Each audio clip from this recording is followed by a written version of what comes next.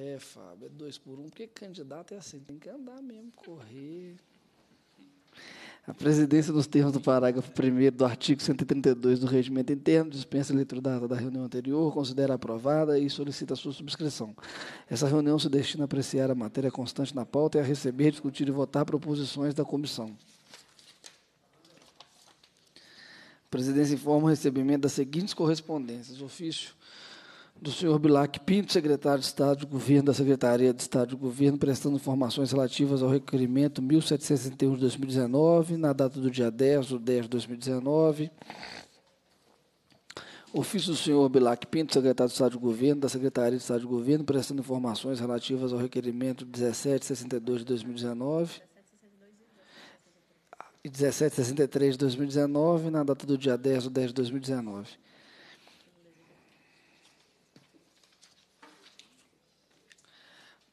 Passa-se a primeira fase da ordem do dia, que compreende a discussão, votação dos pareceres sobre proposições sujeitas à, à apreciação do plenário. Projeto de lei número 1140, 2019, deputado Dalmo Ribeiro. Ah, que sou. Na qualidade de relator, passo, passo a, a emitir o parecer. Parecer para o primeiro turno do projeto de lei número 1140, 2019 é, de autoria do deputado Dalmo Ribeiro Silva.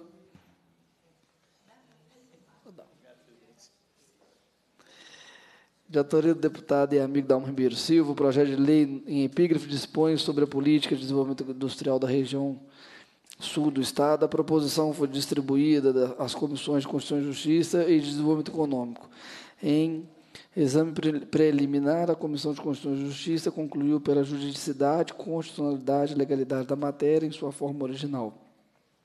Vem agora o projeto para análise da comissão nos termos do artigo 188, combinado com o artigo 102, inciso 8 a linha A do regimento interno. A proposição em exame dispõe sobre a política de desenvolvimento industrial da região do sul de Minas, estabelece então que essa política seja implementada mediante programas de apoio às pequenas e microempresas, de desenvolvimento industrial e de atração e promoção industrial. Define também define também as diretrizes da política que são o incentivo à industrialização da região com o aproveitamento de sua vocação para a tecnologia, a agroindústria e a cafeicultura, a atração de empresas para a ocupação das áreas industriais, é, o apoio à criação de áreas para a instalação de indústrias, o fomento à melhoria de estradas utilizadas para o escoamento da produção da região, a ampla divulgação dos projetos a serem implantados em parceria com a iniciativa privada, a participação dos representantes do Poder Legislativo e da sociedade civil. Estabelece ainda que, na articulação dessa política, seja respeitado o perfil econômico da região, privilegiando os projetos relacionados com os setores tecnológico, agroindustrial e da cafeicultura. A Comissão de Constituição e Justiça não vislumbrou óbvio a tramitação do projeto, pois, neste caso, a atividade legislativa opera no plano da abstração e da generalidade. Lembrou que já foi firmado entendimento de que o projeto de lei, ainda que o parlamentar pode fixar diretrizes para a formulação de políticas públicas estaduais, sem, contudo, entrar em detalhes ou dispor sobre programas delas decorrentes. Dessa maneira, vislumbramos a relevância do projeto em epígrafe que visa a retomada do crescimento industrial desta importante região do Estado. Conclusão, diante do exposto, somos pela aprovação do projeto de lei número 1140 de 2019, em primeiro turno, na forma apresentada Em discussão, o parecer.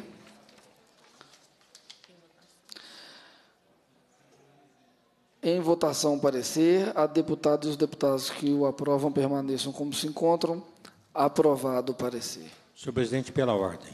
Declaração de voto. Com a palavra o deputado Dalmo Ribeiro para a declaração de voto. Muito obrigado. Quero agradecer muito Vossa Excelência pelo brilhante parecer Quero cumprimentar também a colega Laura Serrano, agradecer também pelo voto e dizer que o Sul de Minas agradece também Vossas Excelências.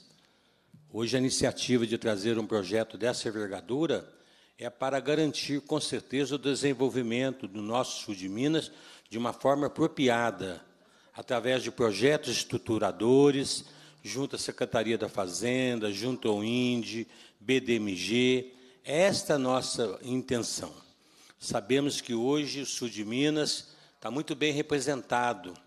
Nós temos aí a cafeicultura, nós temos produtos eletrônicos, nós temos a pecuária, nós temos setor de malhas, vários eixos de desenvolvimento. Quando cheguei aqui na casa, nós trouxemos e debatemos um projeto que chama do Arranjo Produtivo Local, APL, e conseguimos, através desse projeto, fazer com que o Estado pudesse, na região sul de Minas, Santa Rita do Sapucaí, Itajubá, todo aquele eixo, ter um desenvolvimento muito grande, muito proativo. E esse projeto vem um encontro, com certeza, de todas as cidades que estão na nossa região sul mineira. Estamos localizados, como Vossa Excelência conhece, deputado também, numa situação extremamente estratégica para o desenvolvimento do sul de Minas. Haja visto que Extrema agora, recentemente, mais uma vez, consagrou-se em primeiro lugar em excelência de administração, como também a outra cidade do sul de Minas, Sapucaí Mirim, que é bem vizinho do estado de São Paulo. Então, eu tenho orgulho mesmo de apresentar esse projeto e agradecer Vossa Excelência em referendar a nossa, a nossa subscrição, porque é muito importante mesmo que o nosso polo de desenvolvimento possa ter um aval. Um aval da Assembleia, um aval do nosso governador. Sabemos que o governador tem os olhos muito fortes para todo o empresariado, para o desenvolvimento, para a geração de emprego. Então, eu acho que isso aí será um instrumento importante para, em parceria dos municípios, também o governo do Estado. Eu agradeço muito Vossa Excelência, deputada Laura, de ter compartilhado dessa nossa alegria e da satisfação da nossa região. Muito obrigado. Deputado Dalmo, nós que agradecemos é, tê-lo é, com a sua brilhante trajetória e o seu dinamismo, competência, experiência nessa casa. Para nós aqui é um orgulho ter também nessa comissão, que só engrandece a nossa pauta.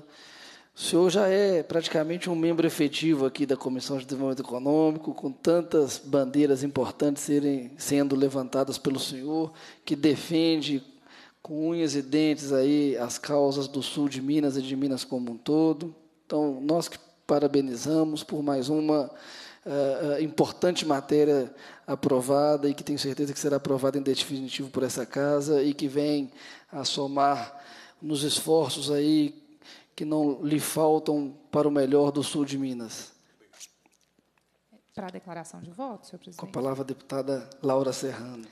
Bom, eu gostaria de de parabenizar tanto o autor do projeto, o deputado Dalmo, quanto o relator, que realmente é um projeto importante que estabelece uma política de desenvolvimento industrial para a região do sul de Minas, que, como foi muito bem falado, demonstra é, uma ação voltada para projetos estruturantes, projetos estruturadores para essa região e para um ponto que é tão importante, que é a geração de emprego e renda. Então, quero parabenizá-los mais uma vez, que é um projeto que, sem dúvida, vai trazer resultados muito positivos, não só em termos econômicos, que é o objeto dessa comissão, mas, inclusive, em termos sociais para o sul de Minas, ao gerar mais renda, gerar mais emprego e melhorar a vida das pessoas. Passa-se a segunda fase da ordem do dia, que compreende a discussão, a votação, a proposição que dispensa a apreciação do plenário, requerimento, projeto de lei número 11.040 Requerimento número 3.202 de 2019, em turno único, que requer seja encaminhado ao Ministério do Turismo pedido de providências para que inclua os patrimônios históricos, culturais e turísticos de Minas Gerais no programa Revive. Autor, Comissão Extraordinária de Turismo e Gastronomia.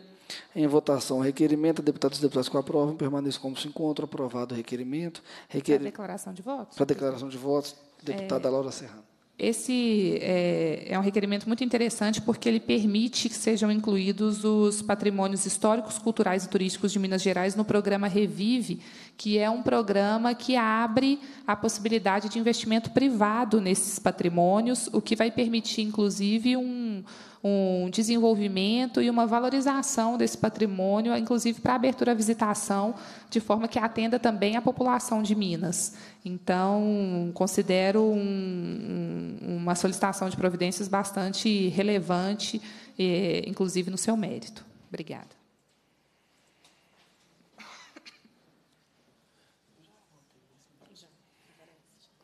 Requerimento número 3.203 de 2019, em turno único, requer seja formulado voto de congratulações com o senhor Felipe Xavier e Júlio Ramos pelos 15 anos de sucesso à frente da empresa Central de Eventos.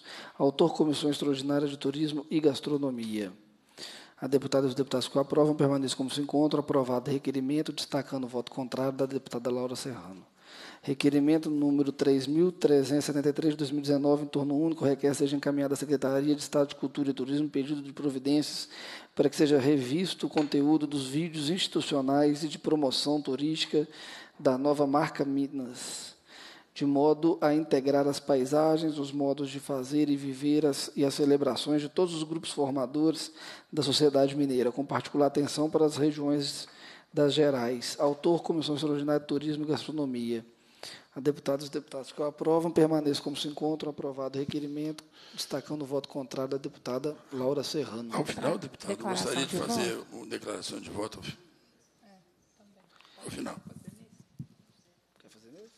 Para a declaração de voto, deputada Laura Serrano.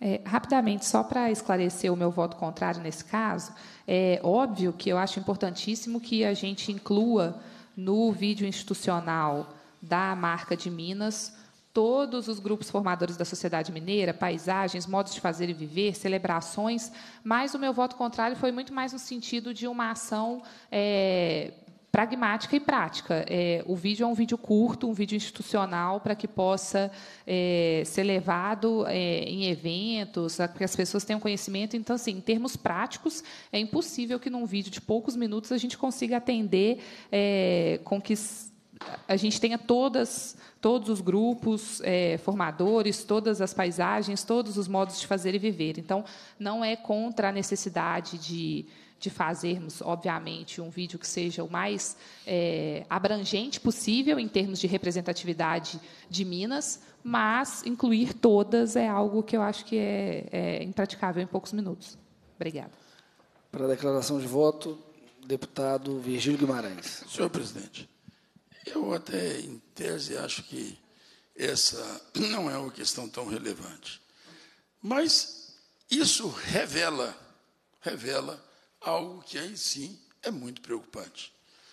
Nós percebemos nesse vídeo, não só nesse vídeo, não, em todo o material de divulgação da secretaria, e eu vou insistir nisso, eu falei, fiz um pronunciamento, dizendo que ia voltar nesse assunto 50 vezes, ainda vou fazer um, uma, uma, estatística para eu fazer uma contagem regressiva, que voltarei 50 vezes. Minas Gerais, na verdade, é dividida em duas. Se você qualquer um pegar um mapa, vai ver que você tem a parte meridional e setentrional, ao norte e ao sul do paralelo 18. O paralelo 18 divide Minas em duas partes: 44% do território ao norte é a parte setentrional e 56% ao sul do paralelo 18. Ao sul do paralelo 18 está o Minas mais desenvolvida, louvo aqui o nosso grande deputado Dalmo Ribeiro pelo desenvolvimento do sul de Minas, tem um potencial magnífico de desenvolvimento ali. Mas Minas Gerais tem também os 44% pobres. Tem também, faz parte. Se você tem um risco, é, é fácil você dar um risco, não. Mato, todo mato é arriscado. É só pegar aquele pedaço ali, acima do paralelo 18. Nós tivemos o dissabor de ver, deputada Laura, no, no, no, no na, material de divulgação, zero, zero, zero de imagens da Secretaria de Turismo e Cultura. Zero. Nenhuma imagem, nada. Zero. Será que 44% do território mineiro merece zero? Zero. Será que não é pouco, não? Zero. Não, não vale nada. Pode pegar esse pedaço e jogar fora, jogar na lata de lixo. Mas eu até pensei que era um negócio meio simbólico. Até que veio o orçamento. O orçamento atribui zero também para quase tudo. Eu quero agradecer, deputado Lauro, a sua sensibilidade, que atribuiu lá a Arinos um ônibus, fez uma entrega de um ônibus lá, e, e eu fiquei todo entusiasmado, deputada Laura, que se compadeceu, talvez, pelo nosso discurso. Eu sou majoritário de, de, de lá de Arinos. Tive quase dois mil votos. A deputada Laura teve dois votos. Mas honrou esses dois votos. Eu acho isso espetacular, maravilhoso. Atribuiu lá um ônibus que o governo disponibilizou para lá. O, o, deputado José Silva, que é o, o segundo majoritário também. Espero que o esforço continue por parte de Vossa Excelência. Mas por parte da Secretaria de Obras, deputado Dalmo, dos 2,78 bilhões atribuídos às obras próprias, tem 203 mil reais para 44% do território mineiro. É um em 10 mil reais, um real para lá, para 10 mil reais para o resto. Eu detesto esse negócio de regionalismo, mas eu fui eleito para defender uma região. Eu não sei, deputado Dalmo, se Vossa Excelência gostaria de, ao sul de Minas, pedir desculpa pelos votos que teve. Eu não sei se o deputado que representa aquela, aquele berço de Minas Gerais, que é Mariana, você, Cota, seu pai também, sua, toda a sua família, não pode ir lá pedir desculpas pelos votos que tem. Eu também não vou fazer isso. Não vou fazer. Não é tanto o simbolismo da imagem, é o escárnio da falta de cuidado. Isso não fica assim. Acabei de anunciar isso no plenário, deputadão. Eu sou economista, já passei da idade de ficar fazendo firula em plenário, de ficar obstruindo coisa à toa. Mas ou eu faço o que vou fazer, ou eu tenho que ir município por município, começando em Arenos, pedir desculpa pelo voto que tive. Não estou afim de fazer isso. E não vou fazer isso. Eu vou virar a mesa, mas o recurso vai ter que ir para os 44 mais pobres do Norte de Minas também. Não quero muito, não. Não é possível que uma orquestra filarmônica tenha 17 milhões o Norte de Minas não tenha nada. Não tem cabimento. Não tem cabimento. Quantos, quantos, quantos, quantas cidades do mundo têm uma orquestra sinfônica, paga pelo cofre público, e tem simultaneamente uma filarmônica, que, que, que deveria ser privatizada? Nós estamos no governo privatista. Temos aqui o Partido Novo, que é um partido privatista. O, o, o, os filarmônicos são privados no mundo inteiro. Nova York tem uma filarmônica privada, porque os filarmônicos de lá pagam orquestra filarmônica. Os filantropos, eles são amigos da humanidade. Eles, eles praticam a filantropia. Eles têm que enfiar a mão no bolso e pagar. Agora, filantropia com dinheiro público é gozação, é brincadeira, é fingimento. A filoharmonia com dinheiro público é brincadeira. Eu não vou aceitar isso. Estou anunciando aqui também, presidente. Eu vou fazer o que eu não pensei que eu fizesse. Mas eu não vou aceitar isso. Não vou aceitar isso. Não vou aceitar isso. Não vou aceitar isso. Dalmo, eu adoro o sul de Minas, não tem problema nenhum. Já fui majoritário em Repouso, já fui majoritário em Piranguinho, já fui. Nós dois juntos. Já fui majoritário em, em, em Brasópolis. Depois, quando o, o, o, o Bilac resolveu deixar de ser estadual, que é meu amigo, tá? Meu pai foi cabo eleitoral do avô dele. Meu pai era amicíssimo do, do pai dele. Ele é meu amigo, Gabriel Guimarães, meu filho, amicíssimo dele. Não tem problema nenhum. Deixei de ser majoritário. Ele foi lá e vapo. Passou o rodo. Não estou reclamando. Não estou reclamando. Não estou reclamando. Não estou reclamando. Está bem entregue. Isso é normal, nós somos amigos aqui. Agora, eu queria ter a compreensão do outro lado.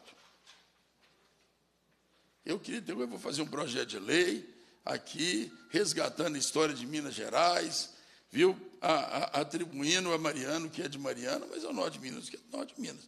Não é só no simbólico, não. Então, isso aqui, para mim, é um desabafo. E uma explicação também. É uma explicação. Eu não aceito. Eu vou obstruir, vou fazer o que tiver. Eu sou a favor do reajuste fiscal, do ajuste fiscal. Eu sou a favor da lei do equilíbrio fiscal. Vou ajudar no que for, mas não espeziando os eleitores que acreditarem em mim. Aí também não. É querer demais. Aí é querer demais. Isso eu não vou aceitar. Não vou aceitar. De 2,73 bi de obras. Na LDO, aprovamos a prioridade para as obras estruturais do norte de Minas. Até porque o recurso que existe hoje é de lá, do pedágio que está sendo cobrado lá. E nós recebemos a bofetada de 200 mil reais de uma reforma de uma escola, uma obra. Zero para o Noroeste, zero para o Baixo de Equitionha, zero para o Médio de Equitionha, zero para a Central de Minas de Curvelo. E quer que eu vote a favor disso? Quem? Quem que vai me obrigar a votar a favor disso? Prepare-se, prepare-se. A minha parte eu vou fazer. Não é por causa de imagem, fotografia e referência, não. É por causa do absurdo que foi tratado desse jeito. Eu também sou deputado, eu também tenho mandato, eu também vou, vou atuar com a arma que eu tiver. Mas isso não fica assim. Parabéns pela explicação, deputado Virgílio. Deputado Virgílio, que é um grande professor aqui. Nós temos o privilégio, né? Dois deputados com grande experiência nesse dia importante da nossa comissão. Eu que anteriormente, o deputado Virgílio havia falado que o deputado Dalmo é, é, um grande defensor do sul de Minas. Vem o senhor aqui, vem o nosso deputado, um dos decanos da casa, o deputado Virgílio, que faz essa defesa aí eloquente e importante do nosso norte mineiro, vales da nossa Minas, Minas Gerais. Quando eu arrumei o asfalto lá, nós fomos juntos, Dalmo. Aquele asfalto lá. Na época era de coordenação do orçamento, eu só pedi uma coisa. O, o, era um absurdo a discriminação de bom repouso. Fui majoritário lá uma eleição, depois o pessoal de lá criou suas lideranças locais. Beleza, não criei essa briga. Eu não tenho esse hábito de brigar assim, não, viu, presidente? É, é, é, é, apenas o momento que me obriga eu que já, já conheço a sua trajetória de longa data, deputado Dalmo, deputado Virgílio já teve em Ouro Preto mais de 10 mil votos. É, e de forma muito generosa, ele agora orienta os ouropretanos a votar em mim. Olha que maravilha, isso é democracia. Sou recordista, ainda não batido. Sou recordista de recorde ainda não batido. E espero fazer o mesmo no Norte de Minas, mas enquanto eu for deputado, eu vou honrar os votos que eu tive como sempre fiz, Dalmo, junto com você, inclusive nessa conquista que nós tivemos juntos lá. Parabéns aí pelo, pelo trabalho. E eu acho que o bacana é isso, né? Nós temos na nossa comissão uma diversidade de, de competência, de é, uma mistura também que eu valorizo muito nessa casa e nós temos hoje também nessa comissão, sabe, deputado Dalmo, deputado Virgílio, que é a experiência de vocês com a juventude. Né? Eu me incluo entre os jovens, a Laura está aqui também, é jovem, está no primeiro mandato, tem feito um trabalho brilhante. Eu acho que isso é muito bacana. Quem ganha com esse debate é o povo mineiro, é o nosso Estado. Então vamos dar pela pra, ordem, pela ordem com a palavra a deputada Laura Serrano. Obrigada. É, primeiro, eu queria agradecer ao deputado Virgílio pela oportunidade de poder comentar sobre a questão da destinação do micro-ônibus na saúde. De fato, eu não tenho é, votação expressiva no Noroeste de Minas e essa indicação foi feita com base em critérios técnicos. Então, o que a gente avaliou foi, dado que existem recursos é, de emenda parlamentar disponível para o parlamentar hoje, é, e, e, a gente tentou avaliar, então, critérios de indicadores socioeconômicos é, e também os critérios de indicadores de saúde em todas as regiões do, do Estado, todos os municípios do Estado, Avaliamos também a, questão da idade das frotas, e aí avaliamos uma resolução da Secretaria de Saúde que apontava quais os veículos, em quais consórcios que já tinham é, uma idade menor e aqueles que tinham mais tempo, ou seja, os lugares onde o recebimento desse veículo ia não só atender e gerar um grande benefício, um impacto gigante para a população, mas que também seria eficiente no sentido de. É, gastar menos e gerando mais resultado, porque ao ter veículos novos numa frota já muito antiga, você reduz gasto com manutenção, uma série de questões. Então, é, aproveito a oportunidade para esclarecer que realmente é, o objetivo foi esse, a, a, destinação de emendas foi olhando critérios técnicos e onde o, o, impacto daquela destinação de recursos geraria mais resultado para a população e não é, critério de votação. E, e um outro ponto que eu queria colocar é que eu concordo muito com a, a importância, a relevância que os investimentos no norte e nordeste de Minas têm para a mudança de patamar de desenvolvimento do nosso Estado. Eu acredito muito nisso, é, defendo que projetos estruturantes no Vale do Mucuri, no Vale do Jequitinhonha, no norte de Minas, são fundamentais para que a gente mude é, o, o, IDH do nosso Estado, para que a gente realmente passe a, a, a para ter a sociedade mineira num novo patamar. E eu só gostaria de lembrar que, além das obras, existem projetos estruturais importantes e que estão, inclusive, privilegiando essas regiões. Dois deles que eu posso mencionar, um no Vale do Mucuri, que é o projeto piloto que a Secretaria de Desenvolvimento Social faz na trajetória para a autonomia, que é justamente a geração de emprego e renda através do empoderamento do cidadão como agente de transformação. Esse piloto está sendo lançado em 16 municípios do Vale do Mucuri.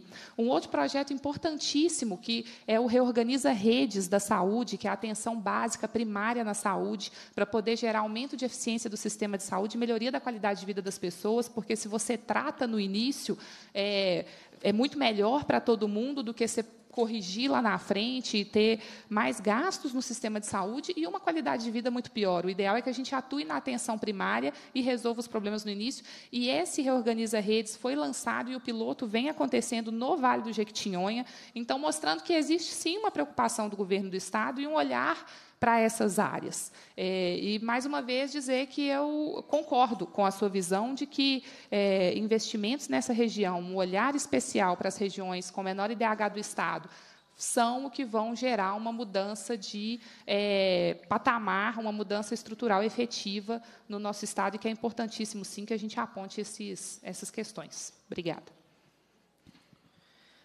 Requerimento número 3.433 de 2019, em turno único, requer seja formulada a manifestação de pesar pelo falecimento de Maria Angélica Rodrigues Nunes, presidente da ACCEL CDL de Coronel Fabriciano.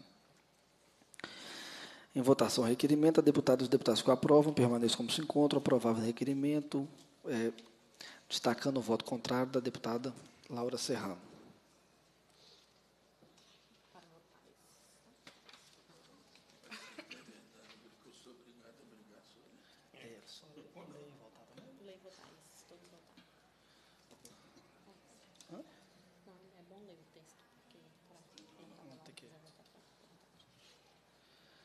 Passa-se a terceira fase da ordem do dia, que compreende o recebimento, a discussão e a votação da proposição da comissão sobre a mesa requerimento do deputado Duarte Bexir, excelentíssimo senhor presidente da Comissão de Desenvolvimento Econômico, deputado que subscreve requer a vossa excelência, nos termos do artigo 100, parágrafo 5º do regimento interno, seja realizada audiência pública para debater sobre o café especial produzido em nosso Estado e os instrumentos necessários para a expansão dessa atividade. Sala de Comissões, 8 de outubro de 2019. Indago, é, é, indago ao deputado e às deputadas. Não, não. Só em votação. Em votação, requerimento. É, a deputada e os deputados que aprovam permanecem como se encontra. Aprovado o requerimento. Requerimento número de comissão número 4.685 de 2019, excelentíssimo senhor presidente da Comissão de Desenvolvimento Econômico, deputado que subscreve requer a vossa excelência, nos termos do artigo 100, parágrafo 5 combinado com o artigo 128 do regimento interno, seja realizada audiência pública conjunta com a Comissão de Participação Popular para debater o fechamento de agências bancárias e o impacto dessa medida no desenvolvimento econômico do município de Coronel Murta. Sala de Comissões, 9 de outubro de 2019, deputado doutor Jean Freire. Em votação, o requerimento. Deputados e os deputados que aprovam permaneçam como se encontram. Aprovado o requerimento. Requerimento de número 4.748 de 2019, excelentíssimo senhor presidente da Comissão de Desenvolvimento Econômico, o deputado que subscreve requer a vossa excelência, nos termos do artigo 103, parágrafo 3 a linha C do regimento interno, seja reformulado voto de congratulações com a Associação Comercial e Empresarial Arcos pelos 50 anos de dedicação ao setor comercial e agroindustrial e sua importante contribuição para o desenvolvimento empresarial da cidade de Arcos e sempre com novos projetos com o objetivo de solidificar o polo comercial e industrial de Arcos. requer ainda seja dada ciência pela, dessa manifestação à Associação Comercial Empresarial Arcos, na Avenida Magalhães Pinto, 616, Centro Arcos, Minas Gerais. Sala de Comissões, 16 de outubro de 2019, deputado Antônio Carlos Arantes. Dep é, em votação, requerimento. A deputados e deputadas que aprovam permanecem como se encontram. Aprovado o requerimento, destacando o voto contrário da deputada Laura Serrano. Requerimento da comissão número 5.241 de 2019, sendo senhor presidente da Comissão de Constituição de Desenvolvimento Econômico. O deputado que subscreve requer a Vossa Excelência seja realizada audiência de convidados para proceder à entrega do voto de congratulações com o senhor Maurício Gonçalves Nazaré, presidente da CDL Itaúna, Minas Gerais. Sala de Comissões, 15 de outubro de 2019, deputado Gustavo Mitre. Em votação, requerimento. Deputados e deputadas que aprovam permaneçam como se encontram. Aprovado o requerimento, destacando o voto contrário da deputada Laura Serrano. Requerimento de comissão número 5.238, 2019, excelentíssimo senhor presidente da Comissão de Desenvolvimento Econômico, deputado que subscreve, requer a vossa excelência, nos termos do artigo 100, parágrafo 5 do regimento interno, seja realizada audiência pública para debater a situação do aeroporto municipal Francisco Álvares de Assis, aeroporto da Serrinha, localizado no município de Fora, e do aeroporto Presidente Tamar Franco, aeroporto regional da Zona da Mata, localizado no município de Goianá, bem como a ausência de voos comerciais para Belo Horizonte, para outras capitais do país, além da ausência de voos regionais. Sala de Comissões, 24 de outubro de 2019, deputado Betão. Deputado, é, em votação, requerimento. A deputada e os deputados que aprovam permaneçam como se encontram. Aprovado o requerimento. Requerimento 5.234 de 2019, o deputado que subscreve requer a Vossa Excelência, nos termos do artigo 100, parágrafo 5 do regimento interno, seja realizada audiência pública para debater a mudança do camelódromo no bairro Eldorado, município de Contagem, Minas Gerais. Sala de Comissões, 15 de outubro de 2019, deputado Carlos Henrique. Em votação, requerimento. A deputados e deputados que aprovam permaneçam como se encontram. Aprovado o requerimento. Requerimento de comissão número 4.499, 2019, excelentíssimo senhor presidente da Comissão de Desenvolvimento Econômico, o deputado que subscreve requer a vossa excelência nos termos do artigo 100, parágrafo 5 do regimento interno, seja realizada audiência pública para debater e apresentar as ações positivas desenvolvidas pelo sistema Fé Comércio Minas Gerais e SESC em prol da sociedade, em especial do setor terciário, que engloba o comércio de bens e serviços e turismo do Estado. Sala de Comissões, 26 de setembro de 2019, deputado Alencar da Silveira Júnior. Tá. Em votação, requerimento. A deputados e deputados que aprovam como se encontra aprovado o requerimento. A presidência recebe os seguintes requerimentos para posterior apreciação.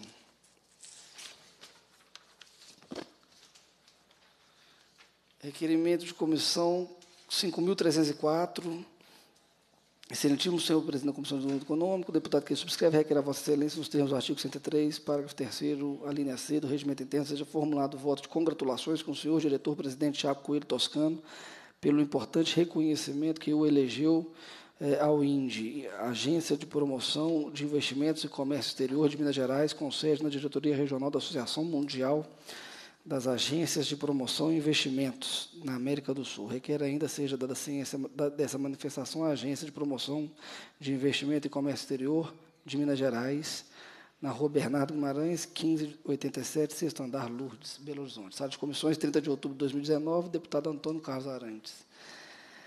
Requerimento de comissão 5.325 2019, excelentíssimo senhor presidente da Comissão de Desenvolvimento Econômico, deputado que subscreve, requer a Vossa Excelência, nos termos do artigo 100 Parágrafo 5 combinado com o artigo 128 do Regimento Interno, seja realizada audiência pública conjunta com a Comissão de Agropecuária e Agroindústria para que seja destinada à instalação da Frente Parlamentar do Cooperativismo de Minas Gerais nesta 19ª legislatura. Sala de Comissões, 31 de outubro de 2019, deputado Antônio Carlos Arantes. Rápida declaração de voto. Com a palavra, deputado Virgílio Guimarães. Prometo ser rápido mesmo. Primeiro, ressaltando a criação da Frente Parlamentar do Cooperativismo. Eu, durante muito tempo, participei da Frente é, Cooperativista no Congresso Nacional e tenho o prazer de ver a criação dessa frente aqui na Assembleia e fico feliz de ser um dos membros dessa cooperativa que espero ser bastante operosa. Quero também registrar, deputado Dal, até para corrigir uma, uma falha que fiz, diante do, do, do requerimento apresentado pelo deputado Bexer, que congratula a, a, evolução da qualidade do café do sul de Minas.